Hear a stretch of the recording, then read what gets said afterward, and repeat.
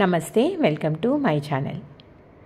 Happy women's day to all wonderful women ఈ women's day రోజు నాడు నన్ను ఇన్స్పైర్ చేసిన మా అమ్మ గురించి మీకు చెప్పాలనుకుంటున్నాను. అమ్మ ఏజ్ ఇప్పుడు సెవెంటీ ఫోర్ ఇయర్స్ అండి. కానీ ఇప్పటికీ కూడా పొద్దున్న ఫైవ్కి అంతా లేస్తుందమ్మ.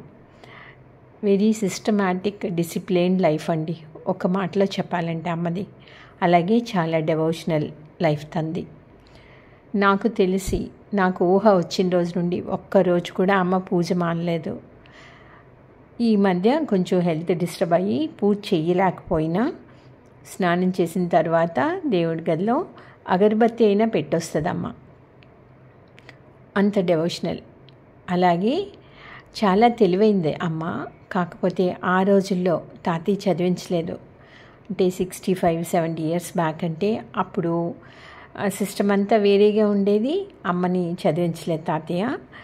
కాకపోతే అమ్మకి చదువు అంటే చాలా ఇష్టం. దాని మూలంగానే మా నాకు మా బ్రదర్స్కి మా కజిన్స్కి అందరికీ కూడా అప్పట్లో మా చిన్నప్పుడు పల్ అది మాది చాలా పల్లెటూరు. అయినా కూడా అక్కడ హోమ్ ట్యూషన్ పెట్టించి మా అమ్మ మాకందరికీ కూడా చదివించేది.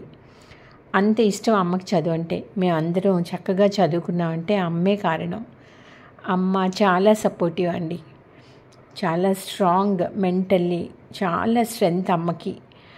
అమ్మ ఏదైనా వరి వచ్చిందంటే ముందు అంటే ఏదైనా ప్రాబ్లం వచ్చిందంటే వరి అవ్వదు. దానికి సొల్యూషన్ ఏంటా అనేది ఆలోచిస్తుంది. అలాగే తనకి షీఈ్ వెరీ స్మార్ట్ కూడా. ఎందుకంటే పాపం తను స్మార్ట్ ఫోన్ కొనమని తనకి చాలా ఇంట్రెస్ట్ లైఫ్ మీద. స్మార్ట్ మీన్స్ తనకి లైఫ్ మీద చాలా ఇంట్రెస్ట్ మాకు అడిగేది కూడా ఇది ఏంటి ఫోన్ చాలా బాగుంది? అంటే నేను మా బ్రదర్స్ నీకు రాదులే అమ్మ చాలా కష్టం అది నువ్వు యూస్ చేయలేవు. అనేసేవాళ్ళం మా అమ్మాయి మాత్రం తన ఫస్ట్ శాలరీతో అమ్మమ్మకి ఒక మొబైల్ కొనింది స్మార్ట్ ఫోను అది నేను one or two times explain చేశానండి ఎలా యూస్ చేయాలి ఏంటో అనింది. ఇప్పుడు తన తనకి చాలా వరకు అంటే మినిమం యూసేజ్ అంతా తెలిసిపోయింది. అంటే మేము వాట్సాప్లో పిక్చర్స్ ఏమైనా పంపిస్తే చూస్తుంది ఓపెన్ చేస్తుంది. అలాగే తను తనకి లైఫ్ మీద ఎంత ఇంట్రెస్ట్ అంటేనండి తను ఇప్పటికి కూడా పూజ చేసేటప్పుడు ఎంత చక్కగా పువ్వులన్నీ పెట్టి చాలా బాగా డెకరేట్ చేసుకుంటుంది పూజ గదంతా.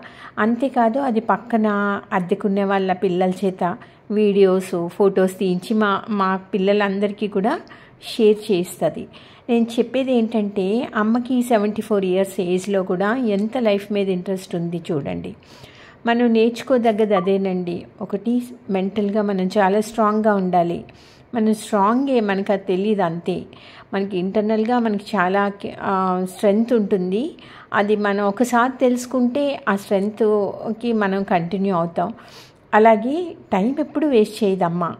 ఈ మంచి క్వాలిటీస్ అన్నీ కూడా నా ఇలా అమ్మ దగ్గర నుండి నాకు ఈ మంచి క్వాలిటీస్ అన్నీ కూడా అమ్మ దగ్గర నుండే వచ్చాయండి. అయినా కూడా అమ్మకున్నే క్వాలిటీస్లో నాకు ఫిఫ్టీ పర్సెంటే ఉన్నాయనిపిస్తుంది. ఆ డిసిప్లైను అది ఆ పంక్చువాలిటీ ఆ ఆలోచన కానీ ఆ మెంటల్ ఆ స్ట్రెంగ్త్ ఇవన్నీ కూడా ఇంకా నేను డెవలప్ చేసుకోవాలేమో అనిపిస్తుంది. అమ్మ ఏదైనా ప్రాబ్లం వచ్చినా కూడా మీకు చెప్పినట్టు వరి అవదు దానికి ఏంటి సొల్యూషన్? అలాగే మాకు కూడా ఒక్కొక్కసారి మాకు అనిపిస్తుంది ఏంటమ్మా ఏదో ఒకటి చెప్తావు నువ్వు అని విసుకునే రోజులు కూడా ఉన్నాయి. నేను కూడా ఒకసారి ఫోన్ చేసి అమ్మ ఏదైనా చెప్పాలనుకున్నది. ఆ టైంలో అనిపిస్తుంది అబ్బా చాదస్తం ఏంటో ఇదంతా అనిపించేది. అలా చెప్పిందే చెప్తుంది ఏదో చెప్తుంది అని. కానీ తర్వాత అంతా ఆలోచించి ఆలో కూర్చొని ఆలోచిస్తే అమ్మ చెప్పిందే కరెక్ట్ అయ్యేది. అప్పుడు అలా గ్రాడ్యువల్గా నాకేంటంటే అమ్మ చెప్పిందే కరెక్ట్ అనే ఒక నమ్మకం వచ్చింది. అంటే ఆ మెచ్యూరిటీ అది కూడా um, ఎక్స్పీరియన్స్ మెచ్యూరిటీ అవన్నీ వాళ్ళ దగ్గర నుండి చాలా నేర్చుకోవాలి. నేనే అంటే ఇవన్నీ ఎందుకు చెప్తున్నానంటే అప్పుడు లేదు చూడండి వాళ్ళకి చదువు లేదు అయినా కూడా వాళ్ళకి ఆ డిసిప్లిన్తో వచ్చే మంచి అలవాట్లు ఇవంతా కూడా మెంటల్ స్ట్రెంగ్త్ ఒకటి మనకి చాలా అవసరం.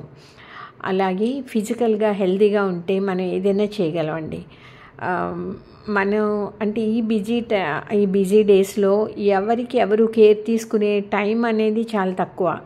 సో మనం హెల్తీగా ఉంటే మనం ఏదైనా అచీవ్ చేయగలం. Once again happy women's day.